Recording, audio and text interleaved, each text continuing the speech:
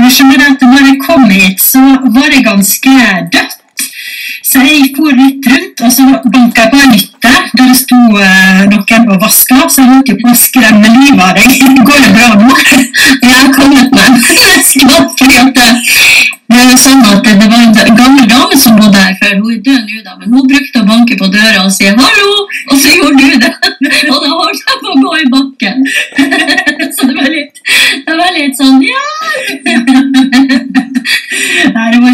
dama, det var bare meg. ja. så, så jeg befinner meg altså her, og jeg eh, Ja, men det har vært veldig mange plasser i dag, Anniken. Det må jeg bare si. Hvor har du vært? Eh, Du, jeg begynte i Russeluft. Da var jeg innom han eh, Fritz Sønvisten. Og han viste meg, for han har jo eh, deltatt i konkurransene våre på Finnmarkssendinga i mange, mange år. Og han mangla cruise nummer 30 fra Finnmarkssendinga i samlinga si. Så jeg var innom og ga han en krus, og samtidig så fikk jeg se, for han, han driver jo og lager håndmalte kort som han sender, sender til folk. Og han hadde faktisk sendt et til Fidel Castro i 2000, og fått svar. Så jeg fikk se et kort som Fidel Castro hadde sendt til han Fritz Sønnvisten. Oi. Og, det og,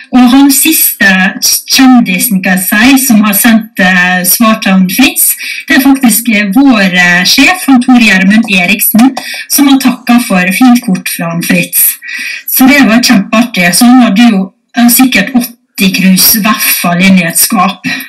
Så der var det NRK-historie i cruiseform. Og så er jeg også i Kviby, for samvirkelaget der det har fått seg ny kafé. Og der snakker man Kåre Thomassen, som er kunstner. Sånn, eh, eller jeg skal ikke si at han lurte meg, men eh, jeg kjøpte meg et veldig fint eh, kunstverk av han. Men jeg fikk ikke lov til å reklamere så voldsomt for den, for han hadde bare fire igjen som hang på kafeen, men nå har jo gjort det. Og så var jeg innom eh, Oldefjord, din eh, plass eh, i livet, Anniken.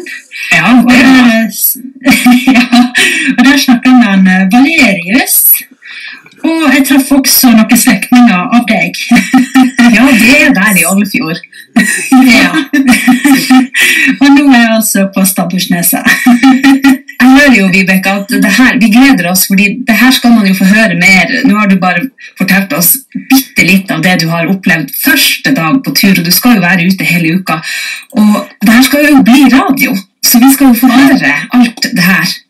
Ja, Alt det her det skal jeg nå sette sammen, og det blir til radio. vet du. Så det blir sendt på Finnmarkssendinga. Jeg er ikke helt sikker når, men eh, i nærmeste framtid. Ja, du har gjort bra reklame for deg sjøl også, ikke bare for eh, kunstverket du kjøpte. Eh, Ja. Så tenker jeg bare, og det er jo ikke sikkert du heller vet, men vi lurer jo litt på hvor er det du skal i morgen, for du har jo vært mange plasser allerede.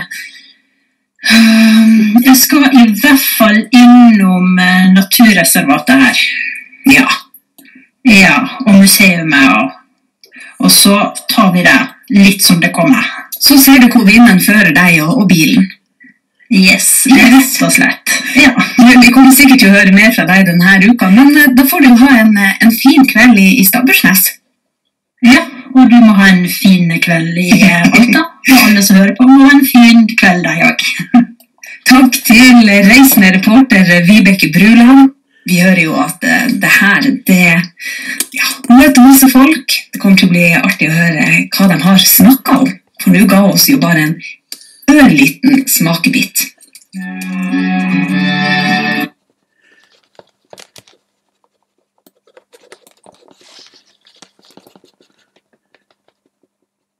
Ja, det var det Vibeke Bruland som kommer med senere med reportasje, annet et intervju med meg, og også slektning til programlederen for kveldens ettermiddagssending. Eh, Roy Pedersen blant annet, og kanskje noen andre